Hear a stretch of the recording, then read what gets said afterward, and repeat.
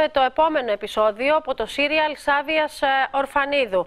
Αυτή τη φορά ο Γενικός Ελεγκτής με ανακοίνωσή του ρίχνει τον μπαλάκι στο Υπουργείο Οικονομικών. Τις λεπτομέρειες θα μας δώσει ο συνάδελφος. Γιώργο, καλό μεσημέρι και σε σένα. Καλό μεσημέρι εγώ, καλό μεσημέρι κυρίες και κύριοι. Ε, Όντως, ε, σε μια ανακοίνωση του η ελεκτική υπηρεσία παρουσιάζεται έντονη ε, προς απάντηση του Υπουργού Οικονομικών ε, τον θέτει πρώτων ευθυνών του θα λέγαμε ε, κυρίως για το ότι σύμφωνα με την νομοθεσία δεν επιτρέπεται σε οποιοδήποτε δημόσιο λειτουργό ο οποίος κατέχει θέση και μισθοδοτικής κλίμακας άνω της Α7 να είναι στέλεχος κόμματος.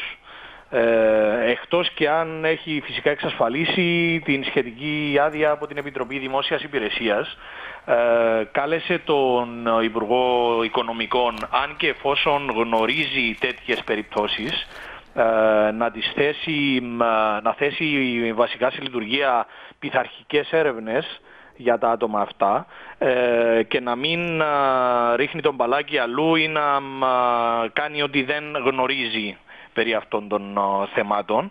Ε, σύμφωνα με τον Γενικό Ελεκτή, ακόμα και πριν από το 2015, από το 15 Ιουλίου του 2015, όπου και ψηφίστηκε η, η σχετική νομοθεσία, αυτό που ίσχυε για δημόσιους υπαλλήλους ε, ήταν ότι μπορούσαν να είναι απλά μέλη και όχι στελέχη πολιτικών κομμάτων.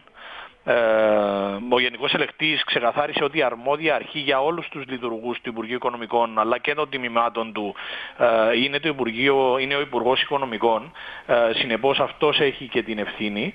Ε, αυτό σημαίνει ότι για την περίπτωση του διορισμού ε, της Σάβιας Ορφανίδου η οποία έχει διοριστεί στο Ευρωπαϊκή Τράπεζα Επενδύσεων θα πρέπει να γίνει πειθαρχική έρευνα σύμφωνα με τον ε, Γενικό Ελεκτή για να διαφανεί αν και κατά πόσον υπήρχε ευνοϊκή μεταχείριση ή αν είχε ε, τις σχετικές άδειες από την Επιτροπή Δημόσιας Υπηρεσίας.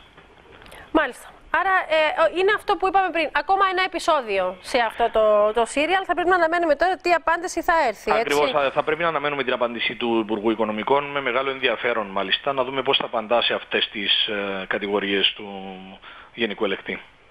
Μάλιστα.